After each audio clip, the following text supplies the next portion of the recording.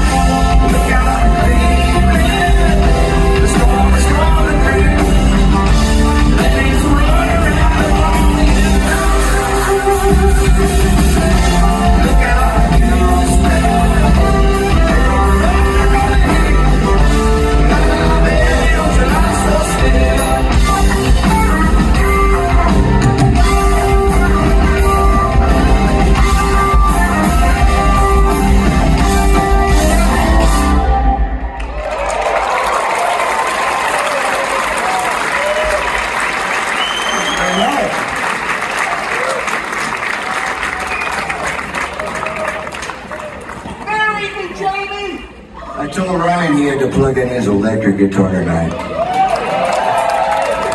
You better watch out. Hide your children.